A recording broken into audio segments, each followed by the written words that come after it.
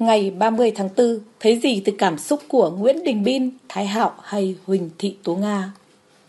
Ngày 30 tháng 4 năm nay, các Facebook của những kẻ tự xưng đấu tranh dân chủ vẫn ngập giọng điệu quen thuộc. Nào là đã 49 năm sau chiến tranh mà vẫn còn mùi thuốc súng, còn Chiên Ly nào là tháng tư đen sau bao nhiêu năm Cộng sản đã gây ra bao nhiêu tội ác trên mảnh đất miền Nam.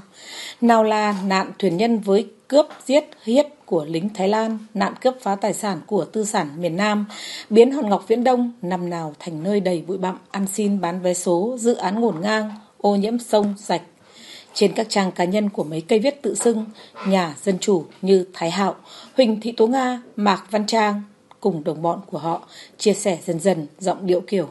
anh em trong nhà đánh nhau một trận 50 năm sau còn ăn mừng chiến thắng, đó là tiểu khí của người nhỏ nhen. Hòa giải chỉ có thể đến từ bên thắng cuộc, thù hận hay ăn mừng. Cả hai đều biết lối tương lai, cơ quạt và lễ lạt chỉ chứng tỏ bụng dạ hẹp hòi, dân tộc không bao giờ lớn nổi.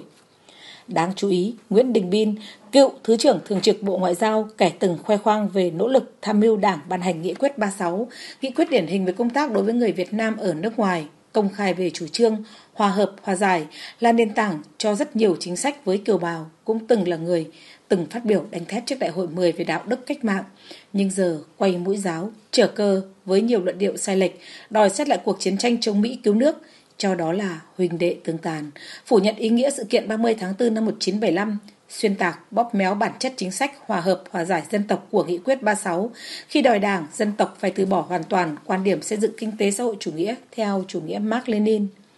Thật tiếc cho gia đình giàu truyền thống cách mạng, có nhiều công hiến cho ngành ngoại giao Việt Nam và bản thân bố đẻ ông Nguyễn Đình Bin bị giặc Pháp cắt tai, giết hại khi hoạt động cách mạng mà giờ đây ông ta muốn rửa sạch tội lỗi cho kẻ xâm lược, xuyên tạc Hiệp định Geneva, thanh minh cho chế độ bù nhìn, cho tay sai Ngô Đình Diệm với đạo luật tố cộng diệt cộng, lê máy chém khắp miền Nam theo luật 10 năm 9, thậm chí còn ca ngợi Mỹ mà bất chấp đó chính là kẻ bao vây cấm vận Việt Nam sau chiến tranh, nuôi dưỡng hàng trăm tổ chức tàn dư của chế độ cũ, hậu thuẫn cho hàng hàng chục cuộc đông tiến sang sông, khủng bố.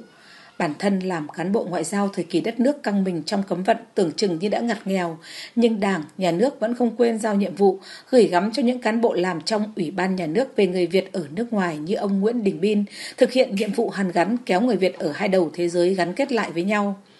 và Nghị quyết 12, rồi 36 ra đời với sự ủng hộ nỗ lực của cả lãnh đạo Đảng, Nhà nước và đóng góp của chính ông Bin, khi đó là Ủy viên Trung ương Đảng, nhưng giờ ông ta quay lưng lại với các đồng chí của mình, với các thế hệ sau, phủ nhận con đường đi lên chủ nghĩa xã hội của Đảng, Nhà nước đang phấn đấu, cho rằng đất nước cần phải cải cách, phải cải tổ theo hướng đa nguyên đa đảng,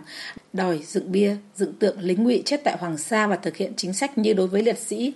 với 74 quân nhân ngụy.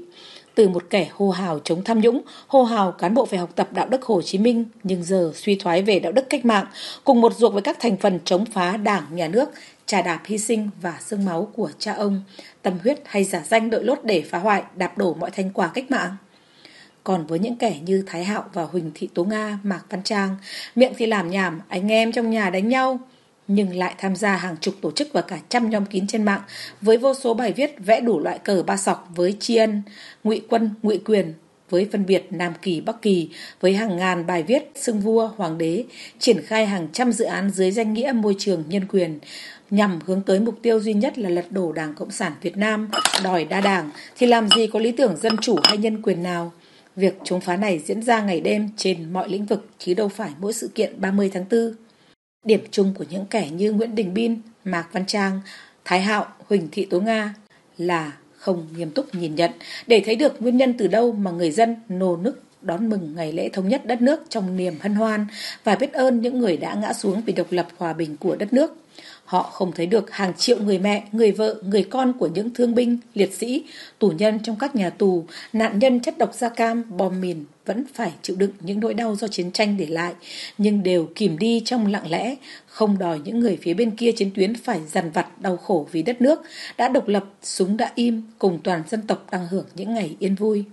Chính những kẻ miệng thì đòi hòa hợp, hòa giải dân tộc, nhưng trong đầu vẫn khơi lại nỗi đau, kích động kẻ không buông bỏ quốc hận, nhìn chế độ bằng con mắt hận thù hay tự ti, thậm chí bất chấp thủ đoạn, hậu quả để đạp đổ mọi thành quả cách mạng